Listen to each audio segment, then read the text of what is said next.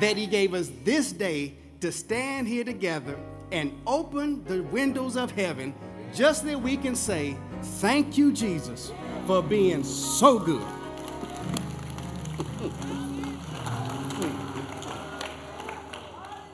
Let us pray. Almighty God, you who can bring into the order the unruly wills and affections of sinners, grant your people grace to love what you command and desire what you promise. That among the swift and varied changes of the world, our hearts may surely be fixed where true joys are to be found through Jesus Christ our Lord, who lives and reigns with you and the Holy Spirit, one God, now and forever. Amen. The Old Testament scripture is Psalm 2 1 through 12. Why do the nations conspire and the peoples plot in vain? The kings of the earth rise up and the rulers band together against the Lord and against his anointed, saying, Let us break their chains and throw off their shackles. The one enthroned in heaven laughs, the Lord scoffs at them. He rebukes them in his anger and terrifies them in his wrath, saying, I have installed my king on Zion, my holy mountain. I will proclaim the Lord's decree. He said to me, you are my son. Today I have become your father. Ask me, and I will make the nations your inheritance, the ends of the earth your possessions. You will break them with a rod of iron. You will dash them into pieces like pottery. Therefore, your kings, be wise, be warned, you rulers of the earth. Serve the Lord with fear, and celebrate his rule with trembling. Kiss his son, or he will be angry, and your way will lead to your destruction. For his wrath can flare up in a moment. Blessed are all who take refuge in him. Amen. The New Testament scripture is Hebrews 5 1 through 10. Every high priest is selected from among the people and is appointed to represent the people in matters related to God, to offer gifts and sacrifices for sins. He is able to deal gently with those who are ignorant and are going astray, since he himself is subject to weakness. This is why he has to offer sacrifices for his own sins as well as for sins of the people.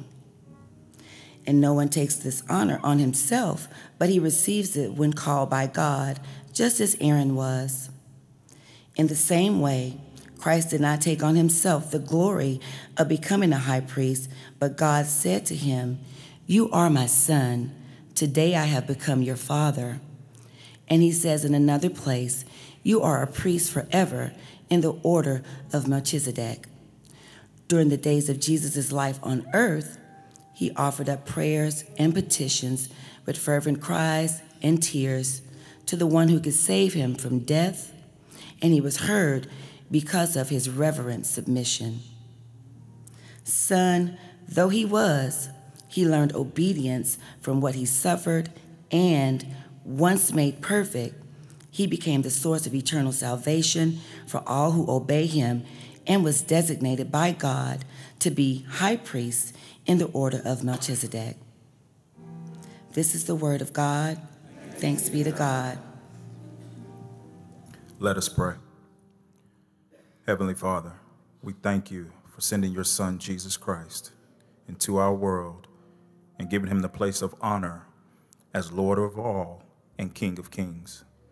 We look forward to that day when every eye will see that he reigns from one end of the earth to the other. We look forward to the day when every knee will bow in heaven and on earth and under the earth, and every tongue acknowledge that Jesus Christ is Lord to the glory of God the Father. Lord, we live in an uncertain world and do not know what tomorrow will bring. But with you, nothing is uncertain. We trust in you and pray for reconciliation where there is war and conflict. We pray for healing of the brokenhearted and those suffering loss due to senseless violence. God of love and comfort, grant your peace upon our bereaved families today. Nathaniel Jones, Surrender and Edward Jones, the family of Thomas Laughlin, the family of Reverend Melvin Dudley, Jason and Talia Washington, Natasha Henderson, Carletta and Cleo Lloyd, Renee and Hardy Walker, Pastor Darren Payne, Valerie Payne, Dr. Felicia Jordan, Donna Bishop. Heavenly Father, we pray that your bountiful blessings of health, strength, and a sound mind would rest upon our pastor, Ralph Douglas West, Sister Sharita, and their family. Father, bless our church staff, leadership, congregation, first time friends, and virtual worshipers. Fill us with your Holy Spirit and help us to share the good news of your grace and salvation with everyone. In Jesus' name we pray. Amen.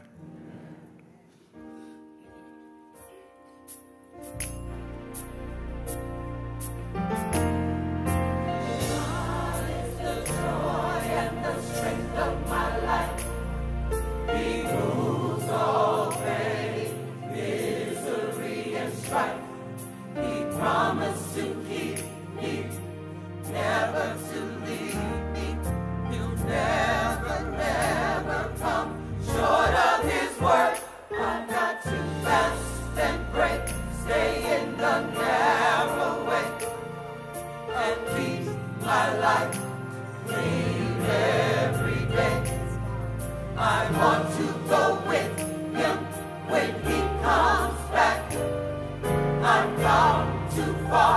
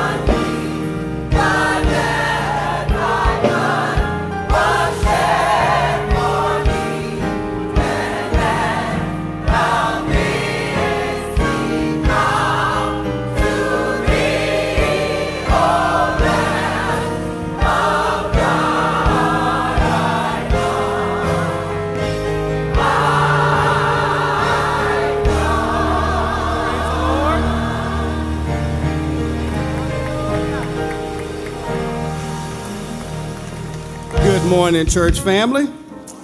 You may be seated. We have some very special people here that we'd like to recognize. We call you our first time friends. If you are visiting with us for the very first time, would you please raise your hand so we can see you? All first time friends, glad to have you. Glad to have you. Thank you for joining us this morning. We'll get a chance to meet with you immediately after worship. We're going to ask that you join our welcome team and so we can answer any questions that you have, encourage you, and pray for you. Amen, church? Well, we have another group of special people that are joining us. They are streaming as far away as Finland, South Africa, Canada, the Bahamas, and the United Kingdom. Welcome, streaming congregation. So we also like to welcome or encourage everyone to invite your friends, your family, your coworkers, and your neighbors to attend any of our exciting worship services. Well, let's keep the excitement going by recognizing some wedding anniversaries. Brother and sister John and Lisa Long have been married for 26 years.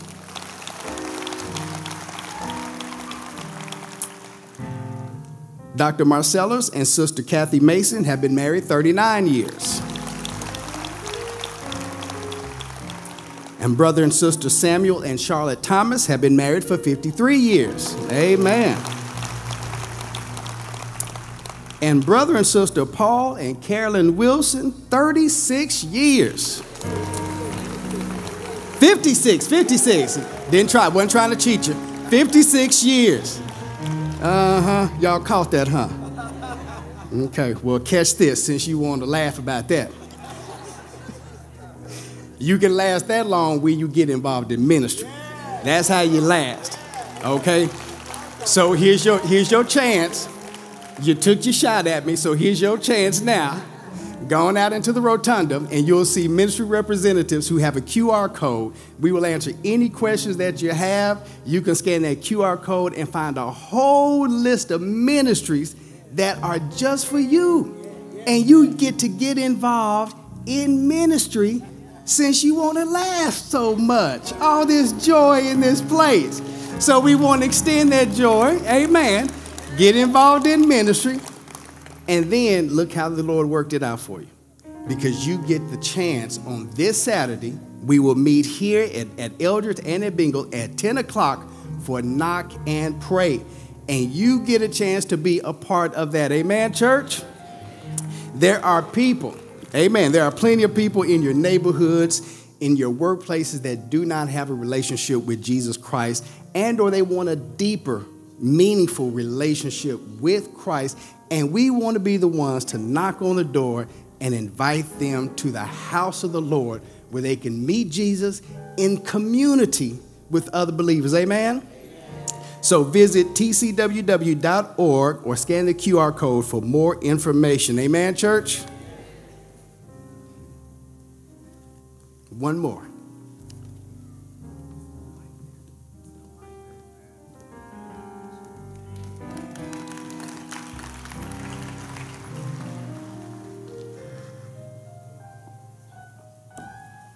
Church family, we are eternally grateful and honored to have special guests on our campus today. Our guest preacher for the hour is the Reverend Dr. William J. Barber II. He, amen.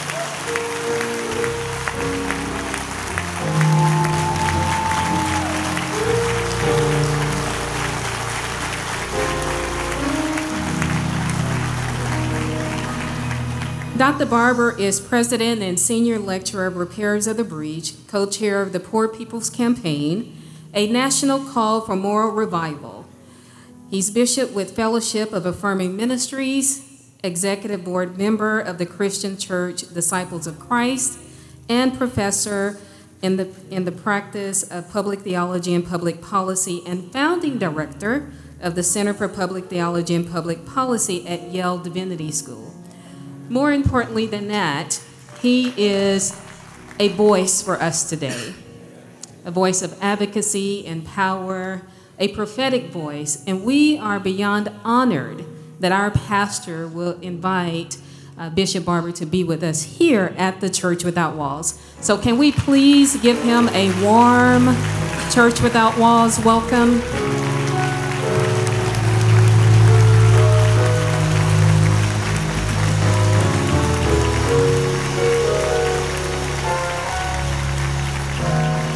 Immediately following our Pass the Peace, our Ignite Youth Choir will bless us today, and then we'll have our song of proclamation.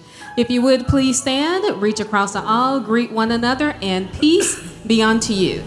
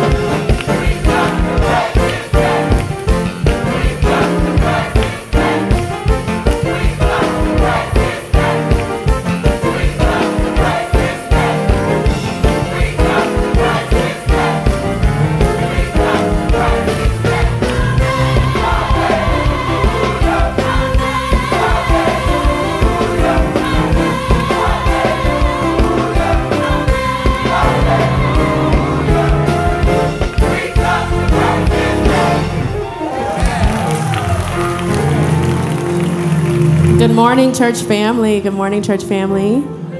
This is Ignite Youth Ministry, and we are here to minister with you guys this morning. Um, so, yes.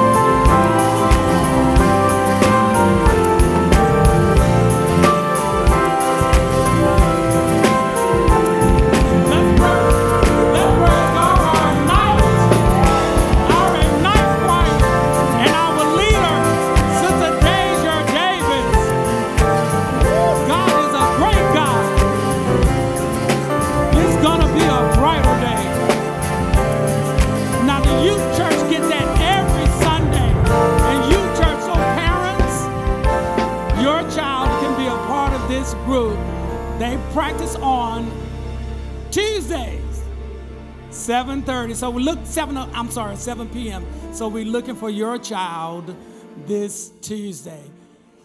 Pray for the choir.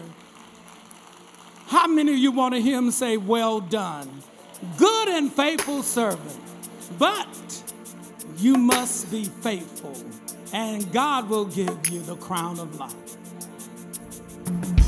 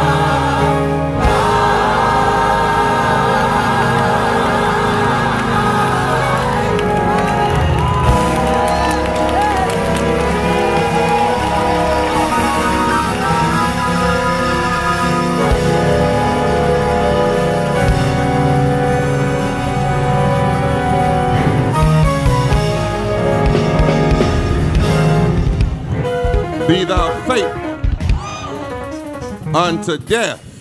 That's the other part of it, unto death. And then thou will give you a crown of life. Touch your neighbor and say, get it right before you die.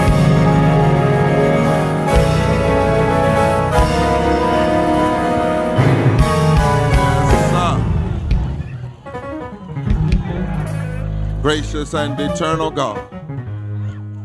We thank you, God, for your mercy, your love, your grace, your prevenient grace that goes before us, your grace that saves us, and your sustaining grace that keeps us. Thank you, God, for reminding us the cross is worth it. The struggles are worth it we can just hear when it's all said and done, well done, thou good and faithful servant. Now, Lord, we know that whenever you call men, women to preach, you take the risk of putting treasure in trash, treasure in an earthen vessel, sometimes faithful, sometimes flawed, sometimes up, sometimes down. But God, you do it that the excellency of the power might be of thee and not of us. So I ask you one more time perform the miracle of hiding me behind the cross, covering me in your blood, filling me with your spirit, that somehow the words of my mouth and the meditation of my heart might be acceptable in thy sight. O Lord, our strength and blessed Redeemer. Come, Holy Spirit, come with preaching, hearing, and teaching power. In Jesus' name, amen. Somebody just haul off and give glory to God.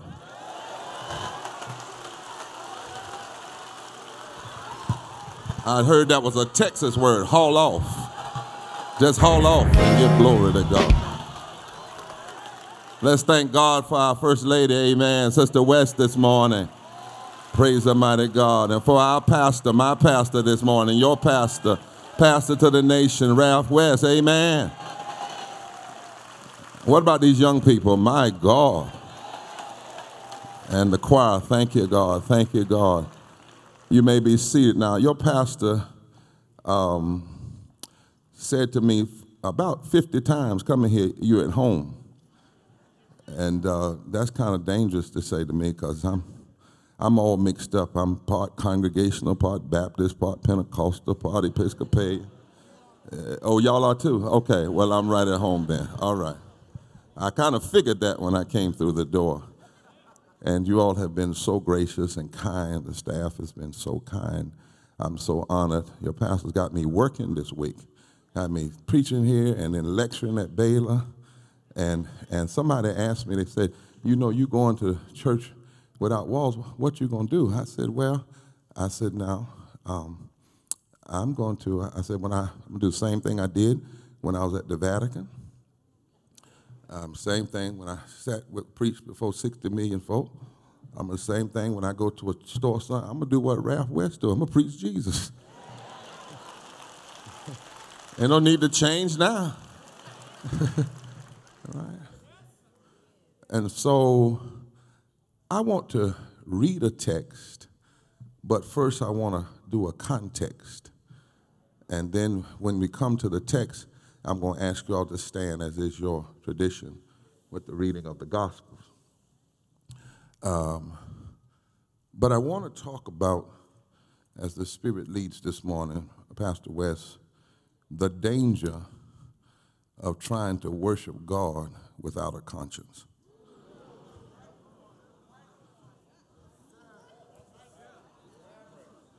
Now, I'll do the best I can to abide by time, but if you all notice, I'm not a prop jet, I'm a jumbo 757.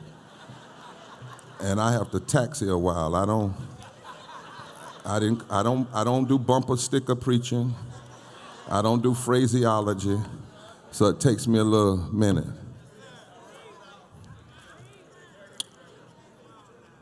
Down through the years, many have described and allegorized what it means to have a clear and formed conscience. Somebody say conscience. Gandhi, when he was speaking of conscience, uh, when he named the seven social sins wealth without works, pleasure without conscience, knowledge without character, commerce without morality. Thank you so much. Science without humanity, worship without sacrifice, and politics without principle. Gandhi said those represent the seven social sins. Harriet Tubman once saw Frederick Douglass, a Sojourner Truth actually, about to give up the fight for freedom as the weight of the struggle for justice and freedom weighed on him. And as the Dred Scott decision came down and said that black men and women had no rights that white folk ever had to pay attention to, and it broke Frederick Douglass' spirit, she saw him with his hand, head in his hands, and his conscience was broken.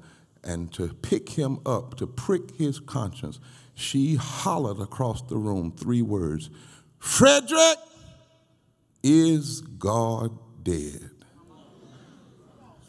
And Frederick Douglass said it shook his conscience, called him back to his, his purpose. Dr. King once said there comes a time when one must take a position that is neither safe, Pastor West, nor political, nor popular, but must take it because conscience tells him or her it is right. Uh, Leo Tolstoy wrote, Wrong does not cease to be wrong because the majority share in it. A Native American elder once described to his grandson the inner struggles of conscience. Inside of me, there are two wolves. One of the wolves is mean and evil, the other is good. The mean wolf fights the good wolf all the time. So the young boy asked his grandfather, Which wolf wins? And the grandfather says, The one you feed the most will always win. Uh, not yet for the standing, but just context. In the Gospel of Luke, chapter 4, that we'll read in a minute, Jesus is putting forth a teaching about worship and conscience. Jesus has just come out of the wilderness where he had been driven into the wilderness not by the devil, but by the Holy Ghost. Immediately upon God telling him, You are my son in whom I'm well pleased, the Spirit drove him into the wild place. And there he was tempted with every way to serve God without having to bear a cross. The devil presented him every way to get what he had come for without having to bear a cross, which ultimately would have been to serve Satan rather than God. The devil presented every way to live without having to stand with the stones that the builders rejected. And here was Jesus, the eternal Son of God, but he had allowed himself to be wrapped in a 30 year old body. And in this earthly body, he lives, and when Luke 4 is written, in an empire where the lead person engaged in the empire was Caesar.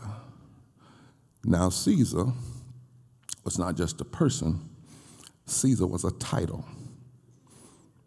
Whoever held the title Caesar took on certain aspects, certain ways of being. Caesar has entered the room. Now, I don't know if you know Caesar, but Caesar believed in dictatorship. Caesar wanted all the power to himself. Caesar would tell a lie every interview to hold on to power. Caesar uh, had strange colored blonde orange hair. Caesar.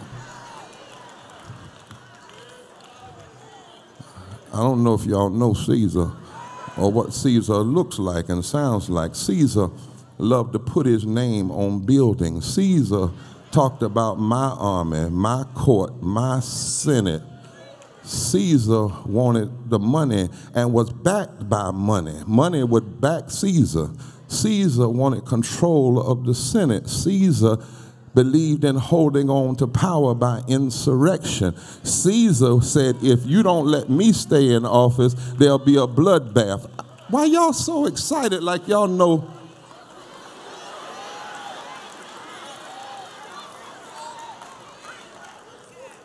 This text is 2,000 years old and y'all hollering like it's relevant.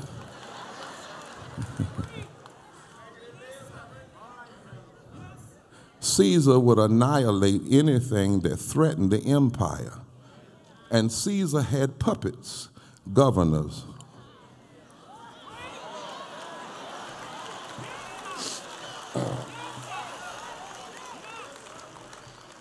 I don't know why y'all acting so strange. See, Caesar had puppets like the Herod family, uh, who was the leader in Jesus' day. And from the moment of his birth, the politics of Herod was to kill him, to wipe out everything. So Caesar, Herod, Herod Caesar, had Herod as his puppet. And Herod was against anybody coming to cross his borders that might be a threat to his. Because y'all know Jesus crossed the border between heaven and earth. I'm trying to make.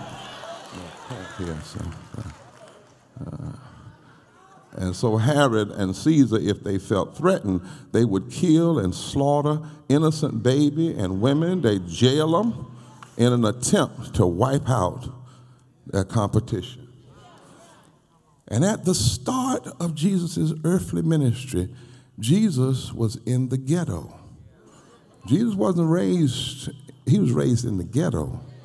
He was raised in Nazareth, where they said nothing good can come out of Nazareth. And, and Jesus was in the context of Roman society. And in Roman society, there was this system of social stratification. You see, in, in Roman society, you had senators, you had, had they compromised, they comprised the upper and lower strata of Roman nobility. 50 million of people or so in the Roman population, but only 1% was in the high class to be a senator, you had to possess 250,000 denarii. To be an equestrian, you had to have half that amount. To be a decurion, you had to have 25,000. In other words, your money was what put you in office, not your mind, not your conscience. A senator had to have 250,000 denario. A worker only made one denario a day. So Rukerman, one of these scholars your pastors got us reading, and folk like at Baylor said that the stratification in Roman society meant that the upper class, the people of noble birth, they always made sure that things skewed. See, when they got caught, they didn't go to jail. When they committed a capital crime, they didn't get the death penalty, they got exiled or something. In fact, they called themselves the honestiores which means the esteemed one. They called everybody else the humiliores. Cicero, they wrote, they had their own poets, and Cicero described everybody that was not in the upper class as the soros urbs ex fox, the, dre- the filth and the dregs of the city. And it was in this Sitz im Leben, in this setting of the text, that Jesus, who was raised in Nazareth, came back to Nazareth, the ghetto, to preach his first sermon. He, as, he, as he always did on the Sabbath, he went to the meeting place. He stood up to read. He was handed the scroll of the prophet Isaiah. I want you to get this the word unrolling the scroll, the word unrolling the word. Hmm? And of all the places, Sister West, he could have chosen, he goes to that pericope, Isaiah 61, that's connected to Isaiah 58, where it says, This is the fast that the Lord requires. Not that you do away with food, but you do away with meanness.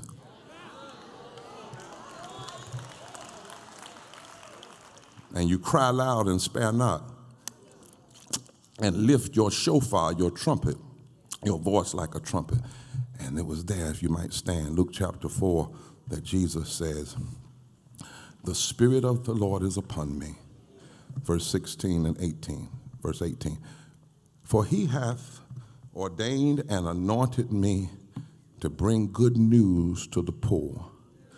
He has sent me to proclaim freedom to the oppressed and sight for the blind, to help those, I'm reading in the translation, who've been grievously insulted to find dignity. He sent me to proclaim the Lord's new era or to declare the acceptable year of the Lord. You all see that? And then he rolled up the scroll, handed it back to the assistant, sat down, and said, You have just heard Scripture make history.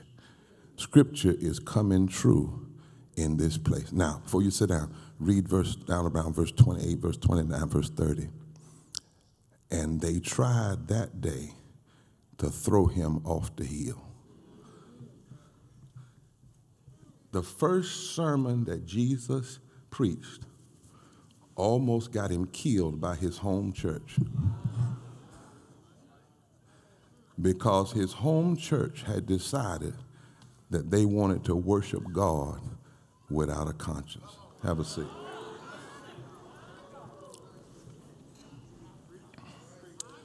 Before my father died, who was a preacher and evangelist, he said to me, Son, you don't even know what preaching is until you've got some blood on your preaching.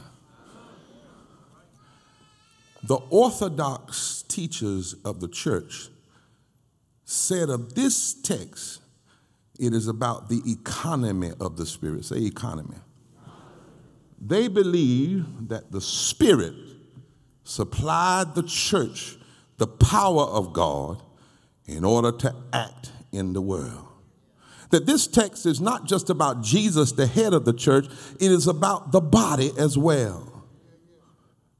That the Jesus and the church, us, have been marked by the Spirit. And to be marked by the Spirit, to truly be evangelical, to truly be anointed, is to recognize that the good news is the good news of liberation from evil and the evil one. That's why Jesus, like a holy priest, opens this text. And if you listen to it, you find it in Isaiah 61. The only piece that's left out from Isaiah 61 is in Isaiah 61 where it talks about vengeance. Jesus doesn't do that. But if you hear this text right, you also hear Amos when Amos says, God told Amos, tell the folk, I don't want to hear the noise of your songs unless you let justice roll down like waters and righteousness like a mighty stream. Hmm. Jesus roots his ministry in the same perspective of the Old Testament prophets. And the prophets of the Bible only rose to the forefront when the priests and the politicians weren't doing their jobs. When the religious cultus was out of order, and when the political cultus was out of order, that's when God raised up prophets to challenge injustice, to challenge those who were physically captive. And this is important. Jesus comes in the power of the Holy Ghost. Let me use my Pentecostal root. The power of the Holy Ghost, the power of the Spirit. Now, now his home church in Nazareth, they, they wanted to hear him because the text says earlier that they were expecting a demonstration of miraculous power. They said to Jesus, What we have heard you did in Capernaum, we need you to do it here in your own country. In other words, he had worked miracles in Capernaum. They were not expecting the coming of a new age, the establishment of a new kingdom, the call of a new conscience. They were not ready for a new conscience. They had been bamboozled by the empire. The very message that the ghetto needed to hear, they didn't want to hear. They wanted miracles and they wanted the mandates of God, but not the conscious calling and the cross of God. And Jesus accepts this text from Isaiah to bring new life. Jesus is identified as the anointed one. Someone say anointed one. the Christ. It wasn't his last name, it was a description of who he was the Christ, the anointed one. Anointed to engage in the work of liberation to the poor, the blind, the captive, and the oppressed. And for his body to have the same perspective. And, and, and Pastor West, if you wrestle with this text a little bit, Isaiah 61, you go back. The word for anointing in Isaiah 61 is a word in Hebrew, mashach, M A S H A C H. Now, it occurs 140 times in the Old Testament, but most of the time when it's talking about you anoint like the pew, or you anoint the laver, or you anoint a vessel that sits in the temple. But in Isaiah 61, the word changes from mashach to moshach. One letter, O. And moshach has to do with being anointed to change things. When the moshach is on you, irritable, oh, excuse me. I'm sorry. I'm in Baptist church, I'm sorry. When, when, when the moshach is upon you, you are anointed to become agents of God. The Moshach is not about your personal edification. When the Moshach is on you, you don't light up like a Leon night, uh, a light. When the Moshach is on you, you go to work for the Lord. The Moshach keeps you when you can't keep yourself. The Moshach makes us prophetic people, a countercultural reality, countercultural consciousness. The Moshach saves the church from being a mere consecrated club and makes it a prophetic community. That's why a lot of churches don't want Moshach.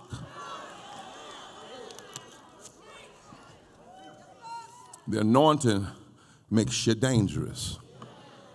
The anointing doesn't remove you from the world, it gives you direction in the world the spirit of the lord is upon me. The word is el, uh, the word means from above. That i get anointed with my directions from above. In fact each word in the text the word deliverance in the text is the greek word aphesis which literally means to cause to stand away the person or situation that's creating the problem. The word captives is akmalatos, which literally means to make folks stop holding other people captive and acting like they are people's God. It means to loose human beings from whatever has them. The word healing, iomea, in the text literally means to bring bodily health, either miraculously through laying on the hand and praying, or to change the situation that's making folks sick in the first place. There's no easy way to get around it. The, the Moshach, the anointing, is a call to conscience. By the power of the anointing, the church is called to have a different outlook. Walter Wink says the anointing makes the church see people differently than the world sees them. See, the world will judge you by your clothes, your money, and your car. But when the anointing is in a church, the Moshach is in a church, the church cannot be seduced into considering people like the world considers the people. The church becomes a place of conscience, a place of liberation, and anybody filled with God's Spirit must have conscience and recognize that there is a danger trying to worship God without a conscience. Well, I stopped by today to suggest that when we unpack this scripture and the fact that when Jesus preached it in his day, they tried to kill him at the end of this sermon. Uh, security, y'all help me.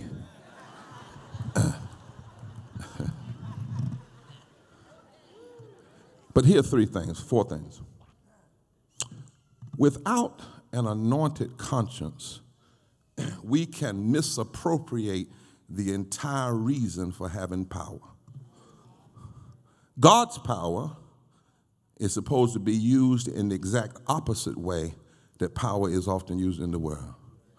Power is used to get above and stay above situations. Power often in this world creates brokenness and captivity and poverty. Power dismisses those who have no strength of their own. But according to Jesus, when the anointing is on you, when, when the anointing is there, something different happens. Power, that is God's power, anointing power, you is used to move us into situations where healing is necessary where restoration is necessary, where liberation is necessary, where redemption is needed. The power of the anointing is to cut across the grain and go in where often the power of the world leaves the scene. When you got the power of the anointing, you are literally a spiritual trekkie. You know, Star Trek, you go where others in Christ, the anointing of the Spirit, a new age appears, the anointing of the Holy Spirit that rests on Christ, and the church challenges the affairs of humanity. In, in, in, Luke, the Christology is his ethic. In Luke, pneumatology, the theology of the Holy Spirit, is not just so you can say, I'm full of the Spirit. No, the power of the Spirit is so that the church can do the work of releasing people from oppression. That's the power of the Spirit. That's why the anointing breaks the yoke.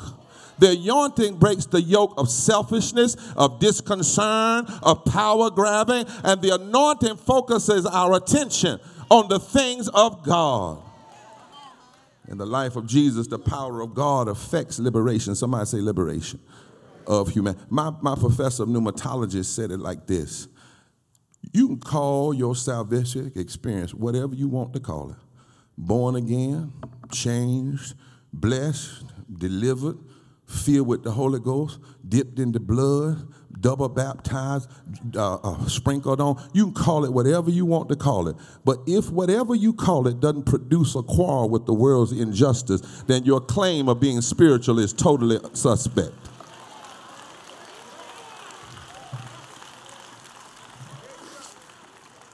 You cannot worship God without a conscience. Worshiping God is more than a praise song. If the praise song does not lead you into standing up for justice, it's just tinkling cymbals. It does not lead you into a deeper love, it's just noise. That's why God said through Amos, put away the noise until justice rolls down like waters and righteousness. Worshiping God is more than having a good time. It's more than just praying to God to give us stuff. Truth of the matter, you could some of y'all had stuff before you knew Jesus. That's why you had to come to Jesus, because the stuff was killing you. Talk to me, somebody. To worship God, to be born again, is to, is to have your head cut off. In, in Africa, they say redemption is to have your head cut off and another head put on. It is to have a new consciousness. And any Christianity that doesn't teach the consciousness of the Holy Spirit is heresy. Now, I saw how dangerous this can be trying to worship God without a conscience, Pastor West. I was at a hearing a few years ago in Capitol Hill, and I was there to testify on poverty and had my co-chair, Liz Theoharis. I had a mother whose child had died because of the lack of health care, an undocumented immigrant from uh, Los Angeles, a white veteran, a farmer from Kansas, a poor white woman from Pennsylvania. And we were in the Congress before the Budget Committee, and we were talking about this issue. And this particular congressman, who happened to be a Tea Party Republican, he slammed and said, I want the mic. And he said, I'm a Christian. And I disagree with you all being here because I've never read in the word where Jesus challenged Caesar. So my quick answer to him, so you calling yourself Caesar? We really, we really got a problem. But the congressman actually claimed to be a Christian. He showed no sign of conscience and concern for the poor. His conscience was so dull that he saw himself as Caesar. And I saw then the danger of worshiping God without a conscience could actually be you end up going to hell from the church.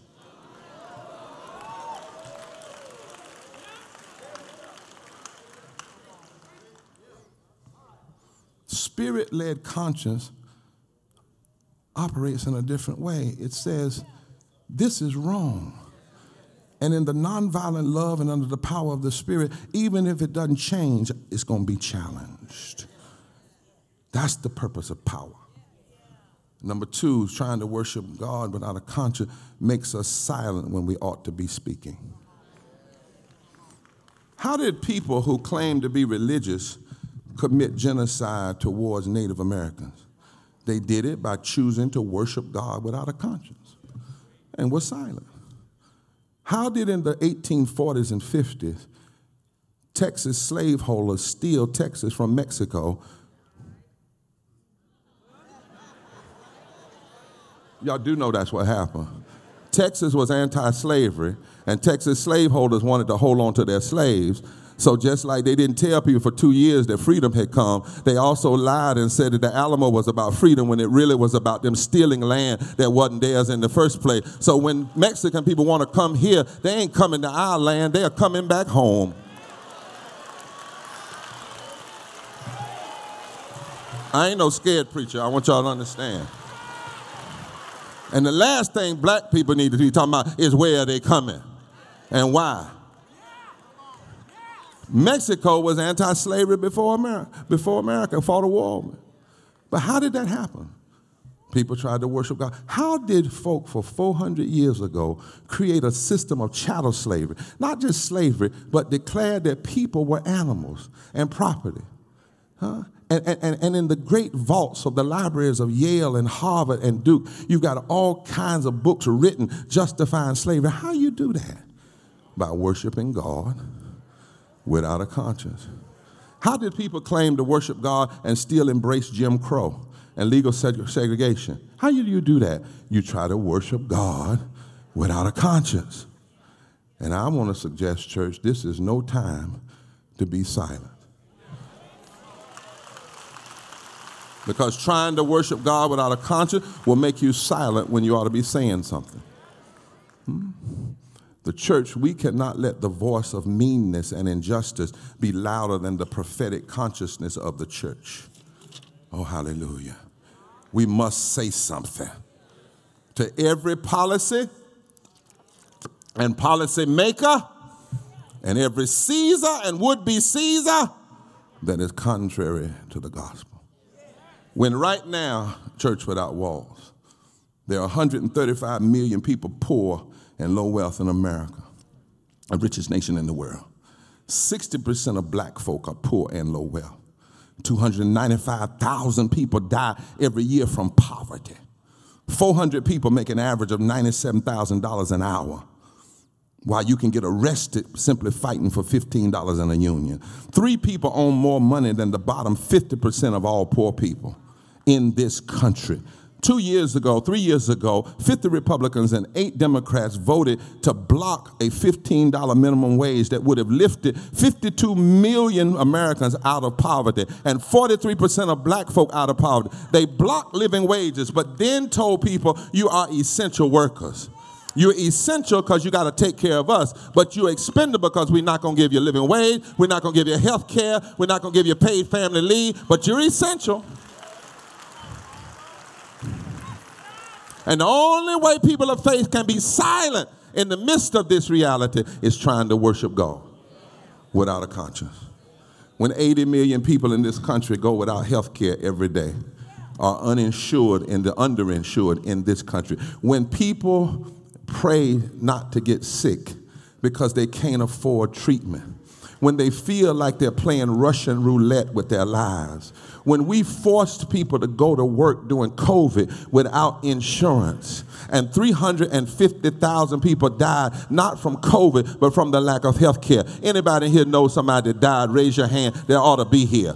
They ought to be here if they'd had some health care. Come on when we have a policy with the 20 of the 25 wealthiest nations in the world america is the only one that does not give some form of universal health care in this country. The great, the, we spend more health care than any other nation in the world. Health care, somebody say health care. And this policy sometimes has forced preachers like me and your pastor to get up here and lie at people's funerals. And we say God called them home when God didn't call them home. They were murdered by violent policies. And what we should be doing, rather than trying to send them home in a cute way, is doing like Emmett Till's mama and bringing the cameras in here and letting the cameras say, this is what policy violence looks like. And the only way people can be silent in the midst of these realities is trying to worship God without a conscience. Oh, Texas, Texas, Texas. Right here in Texas, 11 million people are poor and low income. 41% of the population.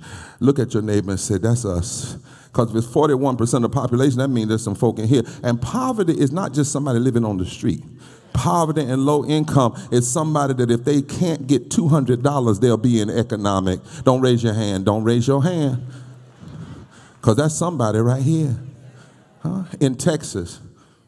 It, it, it, it call, in order to just meet basic needs, you need to make $23 an hour in a family of four. Your current minimum wage is $7.25 an hour. We haven't raised the minimum wage since 2009, over 15 years. Wages have not risen, but work has risen. Corporate profits have risen. And right here in Texas, a person has to work 124 hours a week at a minimum wage job to just earn a basic, modest apartment and maybe eat meat twice a week. There are 5 million people in Texas, 39, 40% of your workforce that makes less than $15 an hour. Touch your neighbor and say, Don't be fooled by the clothes people are wearing.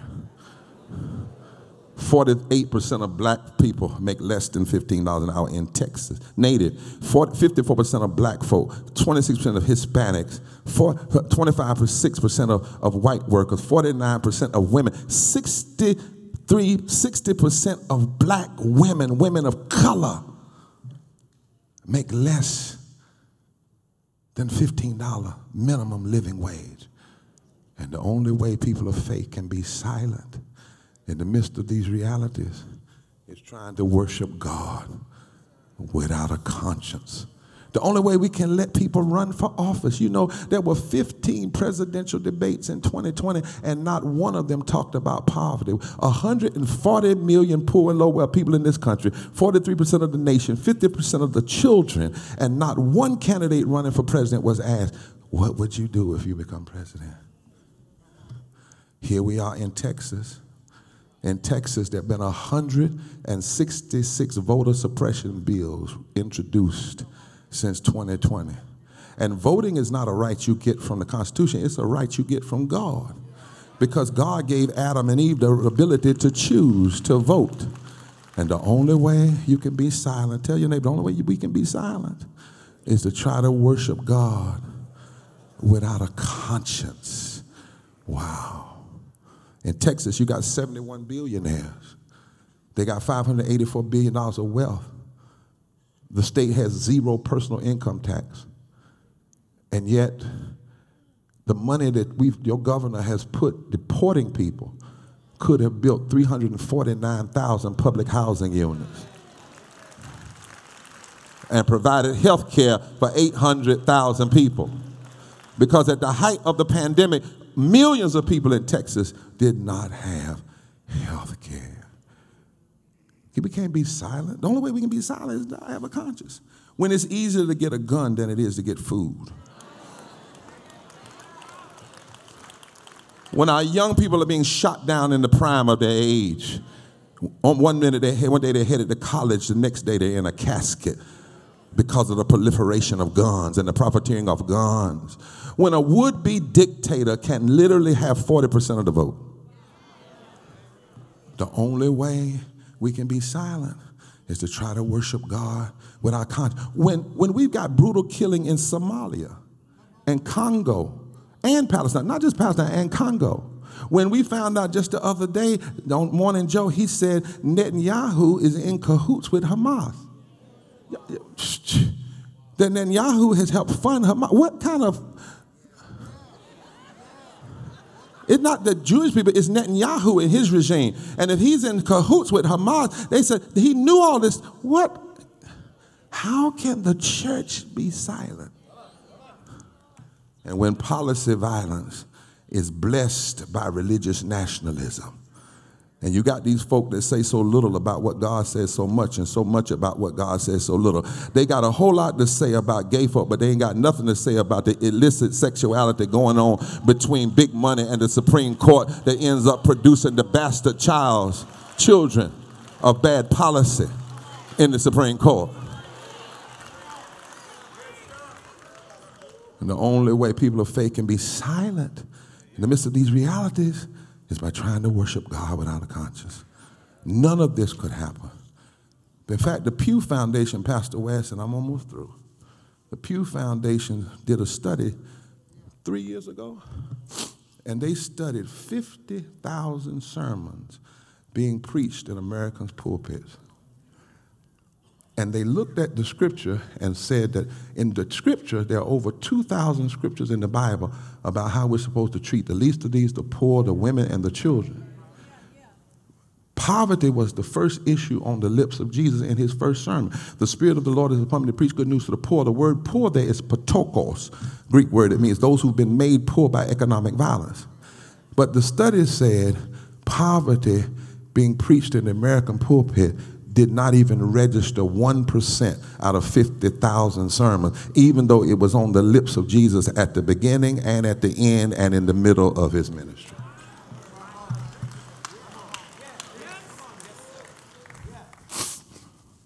And the church could stop some of this stuff. Because the third thing, and almost the final, trying to worship God without conscience means you miss an opportunity to change things. The church could stop a lot of this meanness. You could stop a lot of it coming out of the governor's office.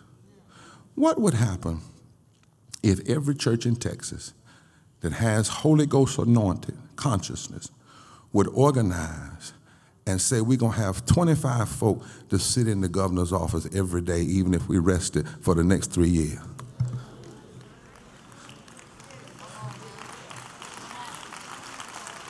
In other words, what if the church took the anointing outside the sanctuary, truly didn't have any walls, and went down to the governor's house? Nonviolently, with conscience.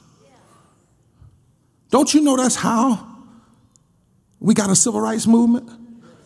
When the church had conscience. An abolition movement, it was the consciousness of the church. The labor movement, how hospitals were built. How you think we got colleges like Prairie View and Texas Southern and Houston and Jarvis Christian College and Wiley and Southwestern Christian College and Texas College and Paul Quinn? Check the record. It happened when folk of faith developed conscience, Holy Ghost conscience, and said, We're not going to accept this anymore. And they didn't miss their opportunity to change things. And we need the church with a conscience to stand up until the poor are lifted, until workers are paid, until the sick are healed, until the police killings stop, until our children are not being killed and humanity is respected, until children are protected. In every age, God's Holy Spirit will always raise up a people with conscience who would rather please God and serve than live a life of freedom without struggle. Well, Pastor West, I'm going to make my way to Baylor and back to North Carolina. But one final thing. If we try to worship God without a conscience, we will make the mistake of thinking that this is all there is. That life is a practice run. And this is dangerous because this is not all there is. And life is not a practice run. And when it's all over, how your conscience, formed by the Holy Spirit, guided you, will be all that matters. I don't want to be morbid this morning, but one day, all our lives going to be over. If this pandemic has made anything clear, is that none of us knows for certain when we're going to take our last breath. I wish I had a witness. This pandemic has reminded us how precious breath is And the doctors tell me that all of us at best got six minutes. And I ain't talking about when Dougie Fresh get on the dance floor either. Six minutes. Six minutes, if you're without breath, six minutes. Most of us, that's it. If you're here, you won't know you're here. Six minutes. So your neighbor say six minutes. And one of these days, each of us is going to breathe our last six minutes. And on that day, titles and accolades and houses and cars will not matter. What will matter is not your title, but your testimony. Did you live with a conscience? I wish I had a witness here. When it's all over, when your life is finished, it's better to have served with and have a testimony of a sacred Holy Spirit conscience and standing for what's right than to have a title of social grandeur and religious recognition void of a conscience and care. The song didn't say, if I have a title, then my living will not be in vain. The song said, if I can help somebody as I pass along, then my living won't be. I want to tell you, tell you, one of these days, you're going to die. Said, we might as well talk about it now. Ain't no need to wait till you're dead to talk about it. And I'm going to tell you, if you come to North Carolina and die, how it's going to go. First of all, some people going to get off work to come see your funeral that wouldn't get off work to help you. Y'all don't know what I'm talking about. Ah, your family going to tell the preacher, don't preach long, but preach good. Going to tell the choir to sing some upbeat song. Don't sing anything dragging. And the preacher gonna preach like he ain't never preached before, because some folk he ain't gonna see to the next funeral, the next Mother's Day, the next Easter, the next Christmas and the service won't be too long. And when it's all over, they're gonna march you down the aisle. Now they got a lot of newfangled ways. Sometimes they march you with a saxophone. Sometimes they march you one step at a time. It don't make no difference. They're gonna march you down the aisle. They're gonna put you in the back of a hearse. They're gonna take you out to the cemetery. And I hate to tell you, they're gonna throw you in a hole. Now it doesn't matter whether the hole got lead in it or all kinds of stuff. It's a hole. And black folk, if you have a black folk, they don't hang around holes long. They're not going to have no elongated uh, uh, uh, uh, committal service.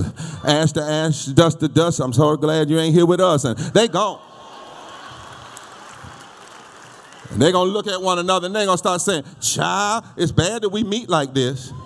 You know, we ought to get together more often, not just when folk die and then they're going to go back to church and have a banquet in your honor. Never had one while you were living. You know what they're going to serve fried chicken, baked chicken, string beans out the big can, yams, cornbread, rolls, and sweet tea that'll give you diabetes, and a piece of tater pie. On that day, your title won't matter.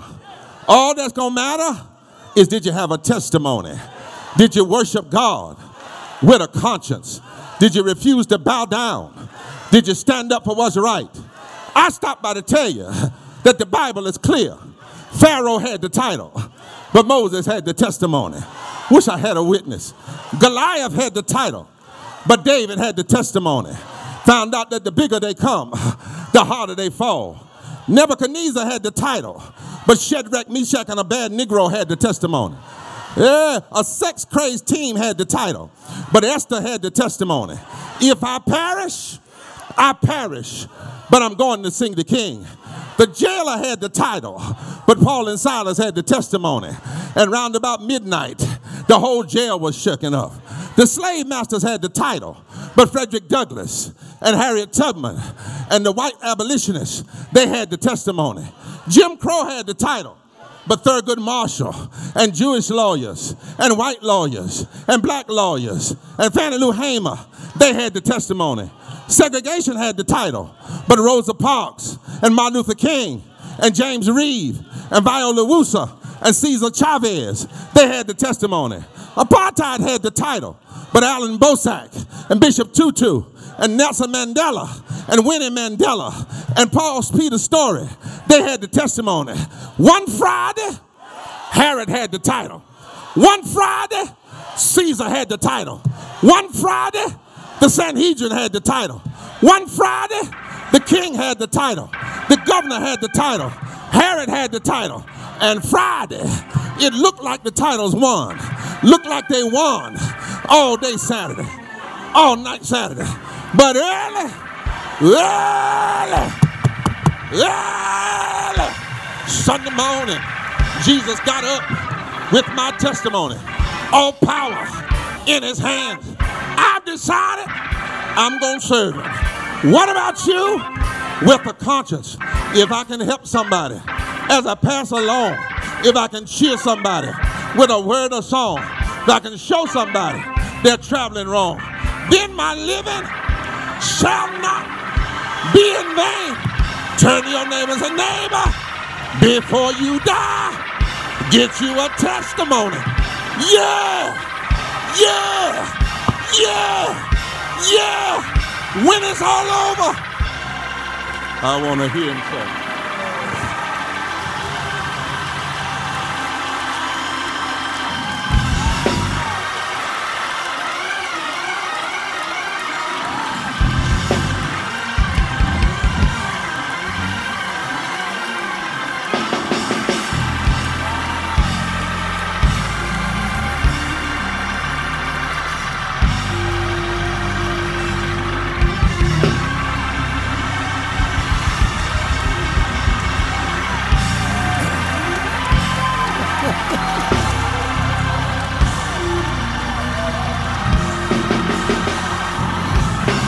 Yeah, yeah. yeah, yeah, yeah, yeah. oh, my goodness. My Lord. Come on, celebrate the goodness of our Lord today. Praise God for the Word of God. Then let's praise God for the man of God. Yeah. Yeah.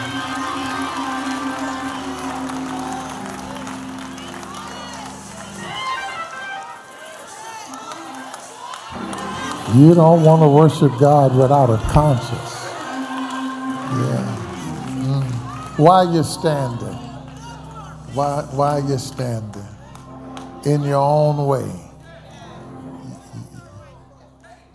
In your own way.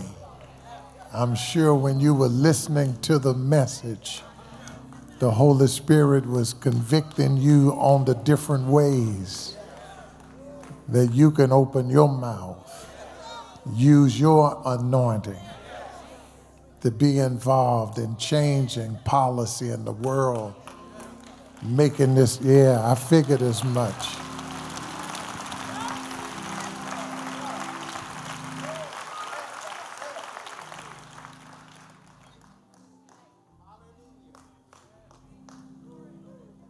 So, with heads bowed and eyes closed, here's just a time and this would be a good time for all of you not young people who are here to ask God, how will you use me?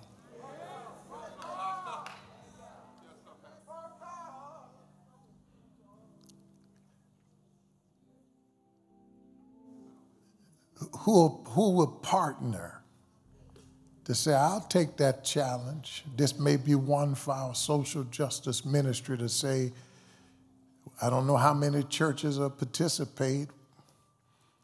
But how about we start with our churches in Houston who really believe that the anointing can destroy the yoke?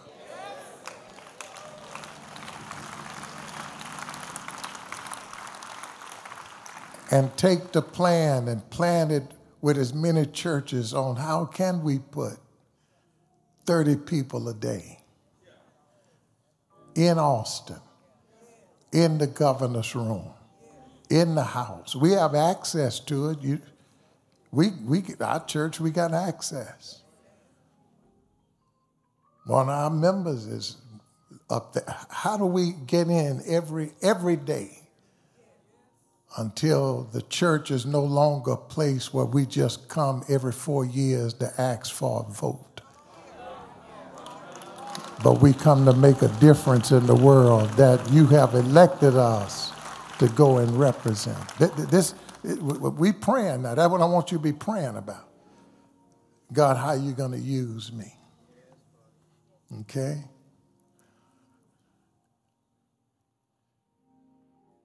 I, our church, IC3, we, we are in partnership with Bishop Barber. That's one of our ministries. So one of the things you may say is, I want to do these things.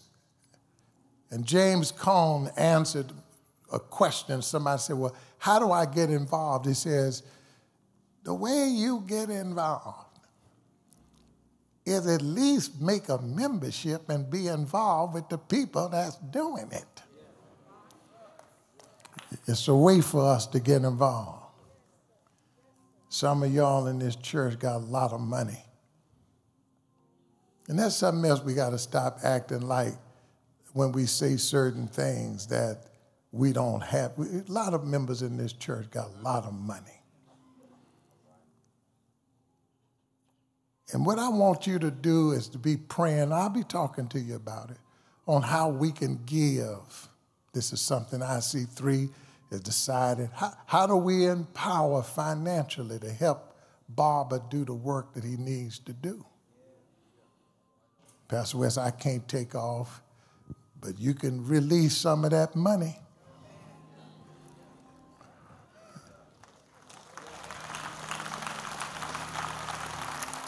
I'm, I'm gonna tell you, I'm gonna tell you, this this the truth. Now, William Barber does not just preach this, this man lives this. Now, he, no. Now he lives it. Now look up for a minute because you're looking at who's talking. And you know how we do things at our church. You don't have to ask us to do nothing. If you ask us, you're probably going to get less if you ask us. So when I said to this man, I'm not going to tell you to his office, I said, don't worry about that. We, I'm going to just call away. I said, no, I guess they're at the post oak. We have our drivers who get them all this kind of stuff. His commitment to what he's doing is to say, Ralph, I, I, I can't stay there. I won't say where he selected to stay, but it wasn't the post oak.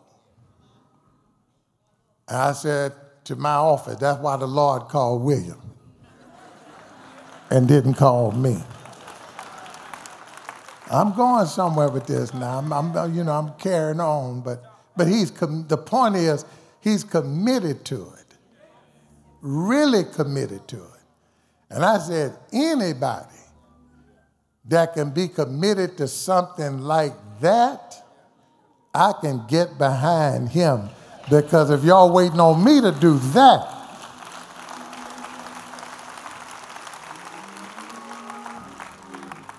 now, now the rest of y'all, you don't have a clue what I'm talking about. You got to parse it.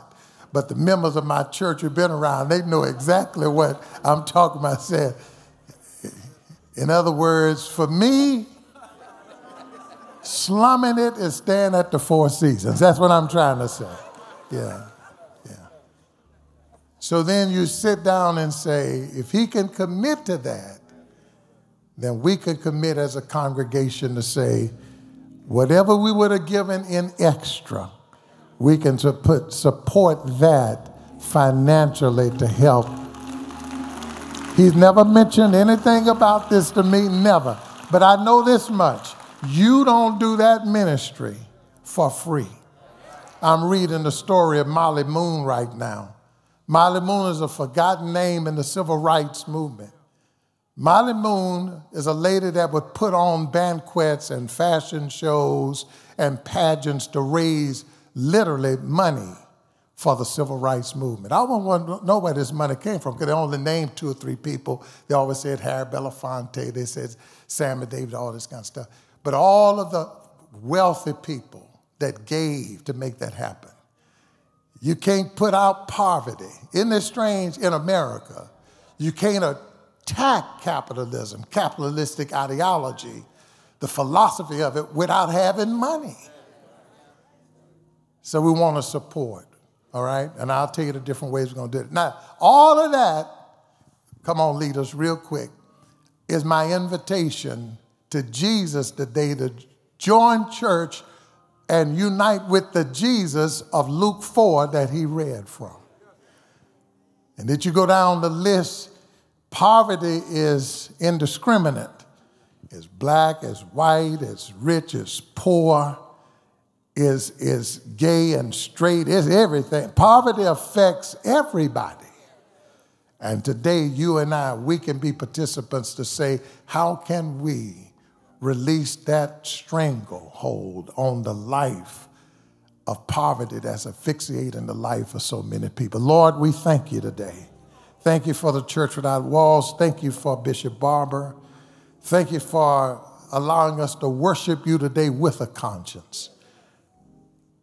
Cut loose our stammering, stammering tongue. Help us then to make the decisions that we will make. Give us the leadership and the direction over these next weeks as we plan. How do you participate at a high level to participate with the vision that's already been set by Barber and his people? So we thank you for his life and ministry. Thank you for the people here. And then there are those today that's been saying, I want to be a, I want to join, unite with a church where the anointing is not just blessing my house, my job, my work, my career. But an anointing that leaves the walls to go into the work and change policy, change work, change Medicare, change insurance, change it to make life equitable for all of God's people. And so now we ask that the perfect leading and inviting ministry of the Holy Spirit be released here now to get people from their seats under no compulsion, merely to say, I want to join with Jesus on this one. It's in Jesus' name we pray and we thank you. Amen. One time, give God praise before you sit down. The choir is going to sing. The door to church is open.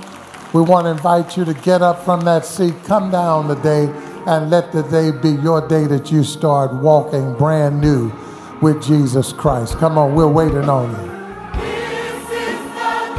If you're not coming this way, I'm going to ask you to sit down. I'm talking to my young people now, okay? Yeah. Now, don't disrespect me now, okay? All right. God bless you. God bless you. Yeah, come on. They're never. Welcome. We're glad to have you. Somebody else today. Let the day be your day that you start brand new with Jesus Christ. We're waiting on you. Now is the time. Now is the time. God bless you. I see you coming. No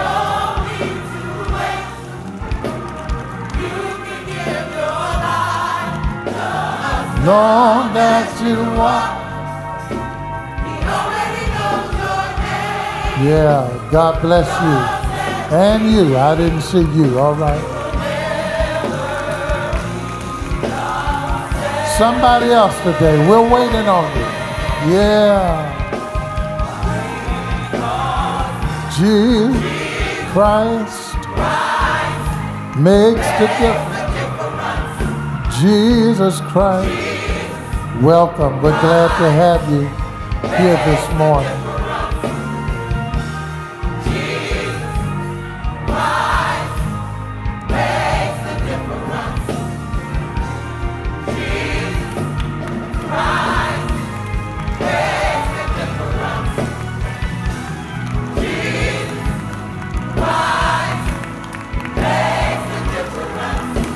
Well, bless you too.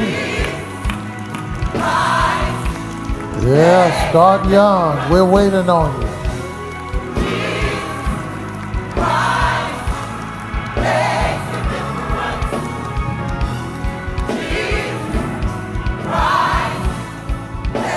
Hey, there, there are a few people here that, that, that know they're supposed to be here. I'm, I'm just going to ask you to do one thing for me. And you know who you are.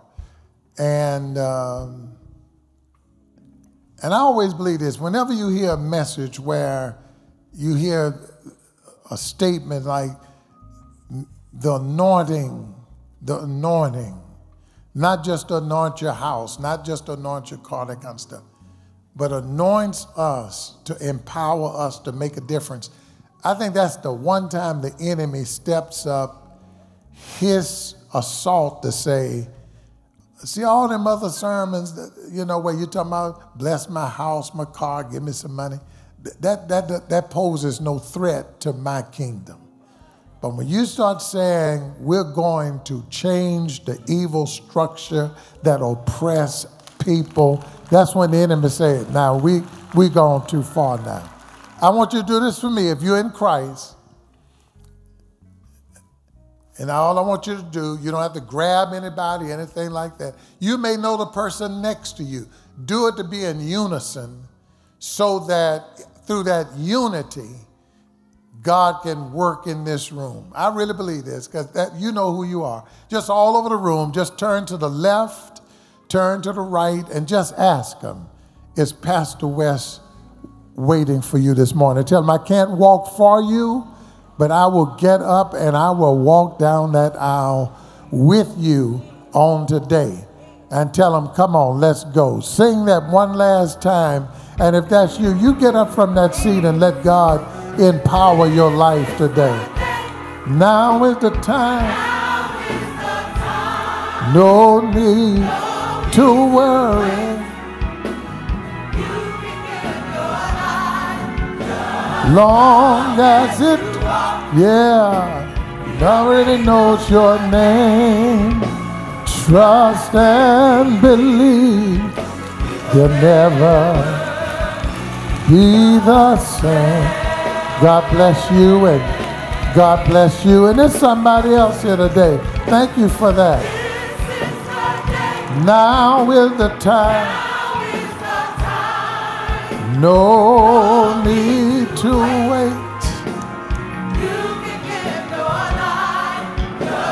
Long as you walk, he already knows your name. Trust and believe you will never be. Welcome. We're glad to have you here today. We're going to take it that you're the first group that's going to make a difference in the world that we live in. All right? Come on. Heads are bowed, eyes are closed. Gracious God, our Father, we thank you for our new family members. And we ask your blessings on those who are standing here and the one that will soon be here. We thank you for what you have done and what you continue to do. In the strong name of Jesus, we pray. And all God's people say, Amen. Praise God. Welcome to the Church Without Walls. Welcome our new members.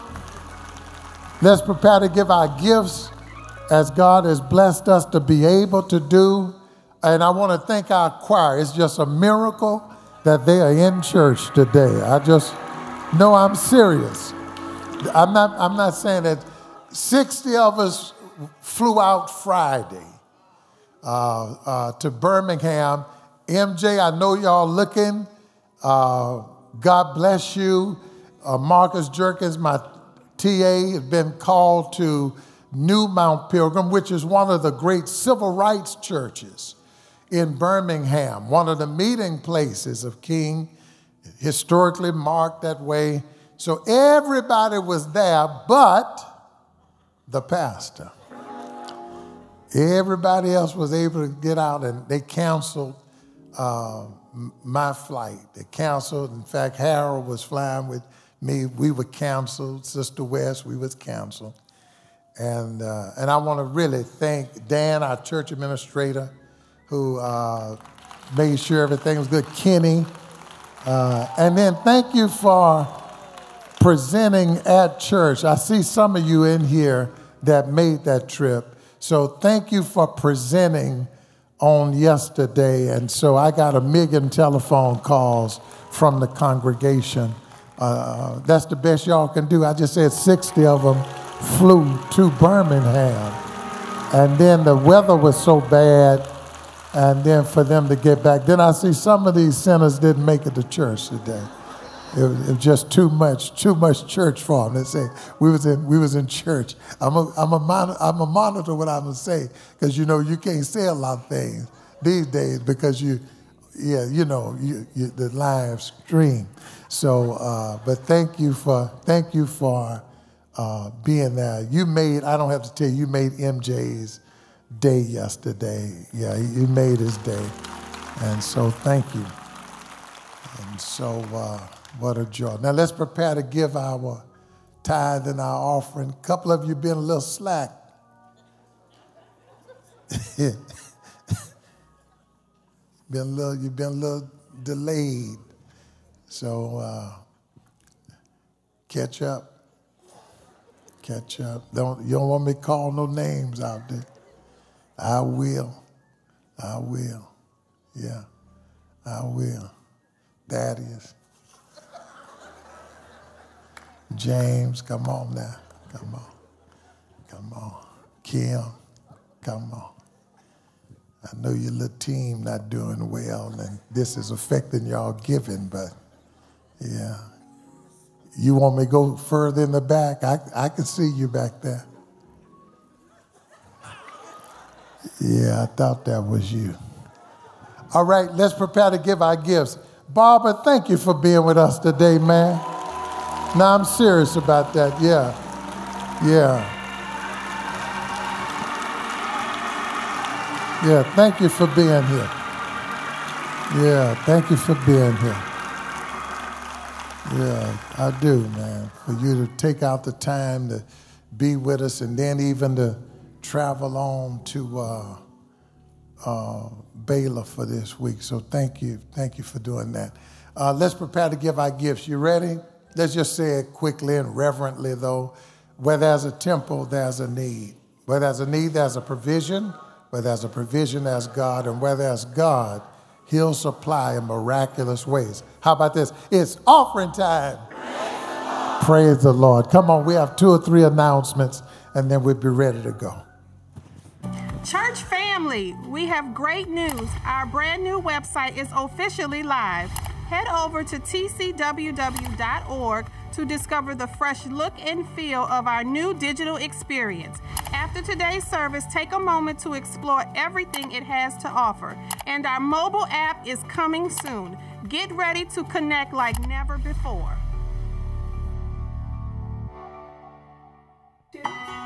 As Holy Week unfolds, we at the Church Without Walls invite you to journey with us on the road to resurrection. Our path begins with the triumphant entrance on Palm Sunday, March 24th. Pastor West, alongside our campus ministers, will deliver a powerful, thought provoking message with special music, praise, and dance. Be a part of one of our five special services.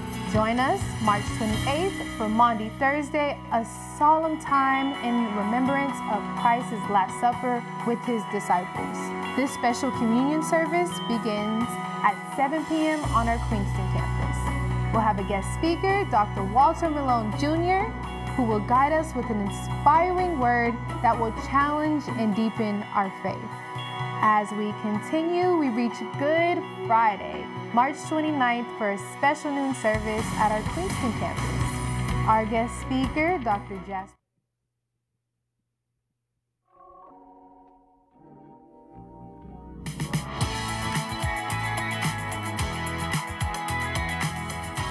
The IC3 Church Conference will be held on April 23rd through the 25th. We are excited and want you to save the date. So get ready, get ready to welcome conference attendees from all over the world. Let's hear from some of the volunteers and share why you should volunteer this year. I've been volunteering for IC3 for six years. I'm a greeter for registration. First of all, Pastor West stated one Sunday that they needed new volunteers. So I immediately went to registration and signed up to be a volunteer. That was the best thing that I've done. Every year that I do it, it's a pleasure because I like the way it makes the guests feel when they feel welcomed. So this my first year. I was actually asked and requested. It's like they wanted me to uh, come by and get involved in the church, and I figured the IC3 was probably the best way to get into it. I volunteer as a breakout session host. Primary uh, role is to uh, give the presenter uh, availability, help them, help he or she to uh, feel welcome in the classroom, make sure all the audio, visual, uh, all the things that they need to make their present- presentation very successful. I have been volunteering at IC3 now for five years, and I absolutely love it. I love meeting the participants as they get out of their cars and they come into the church, and uh, just love meeting them. And also, I love working side by side with our wonderful uh, TCWW members as well.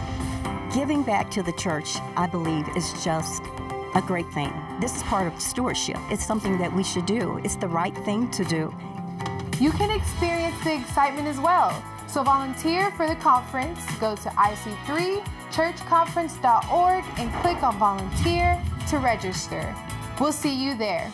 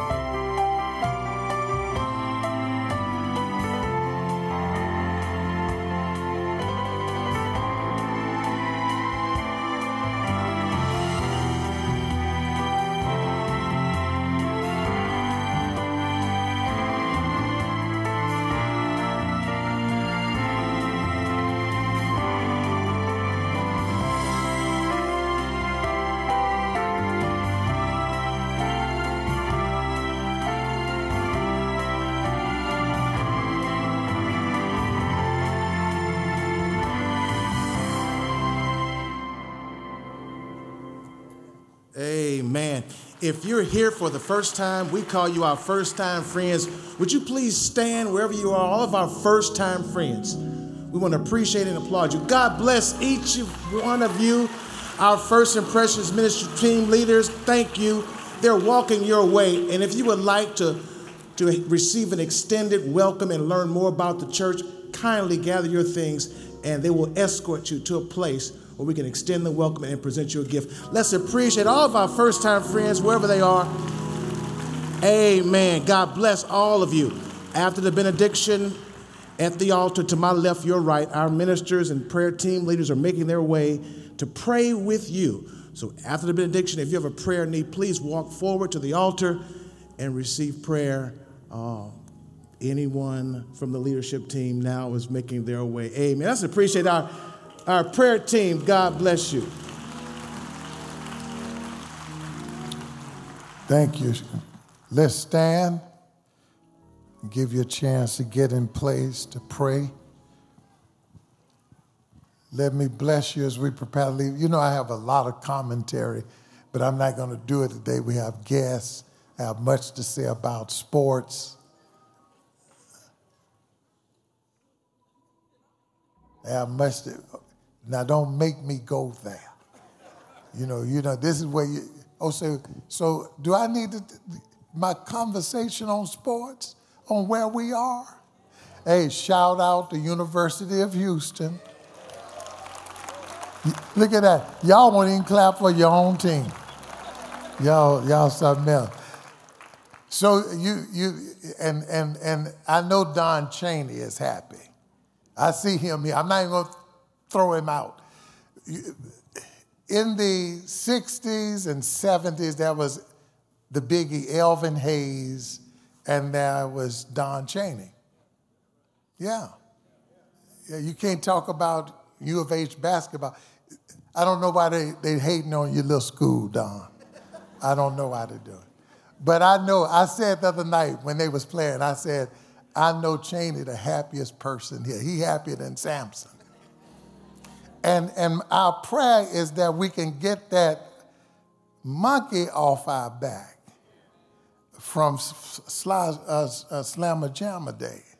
But these kids here, and they and you and if you grew up in Houston, then you know Houston basketball. I said they play just like they've been at MacGregor Park and at the Fonde. I can tell y'all ain't from here. You don't know. You know, yeah, no. That's, that's like when I was in college and uh, I would just say, oh, he from Houston. And they would say, well, how, how you know? You just, I said, oh, yeah, that, that's, that's Houston swagger.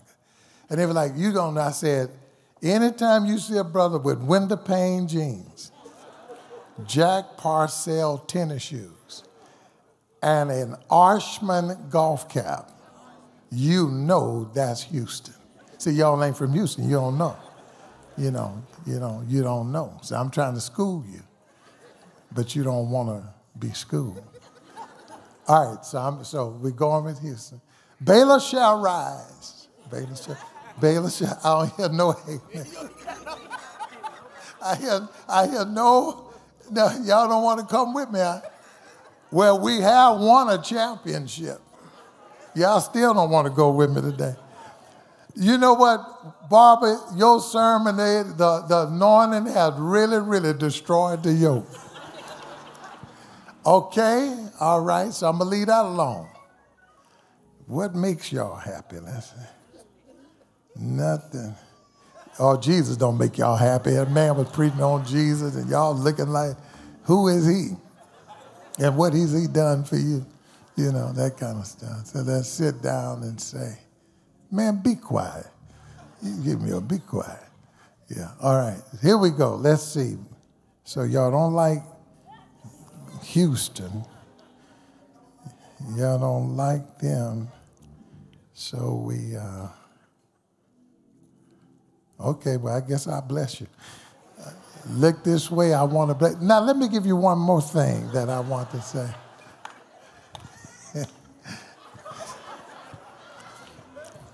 Jewel London.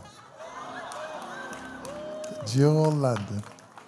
Look this way, I want to bless you. Be careful on your way out. I say this all the time, and then you read these incidents and say, yes. Just be careful going out. The Lord bless you and keep you. And I mean that. All, there's a lot of craziness in this city right now. The Lord bless you and keep you. The Lord make his face smile upon you and be gracious unto you. The Lord lift the light of his countenance upon you and grant you his peace. And may the Lord bless you when you go out and come in, when you rise up early and settle late, in your labor, in your leisure, in your laughter, and in your tears, until that day when we shall stand at the feet of Jesus where there's no sunrise or sunset. God bless you, church. I love you. Have a great day.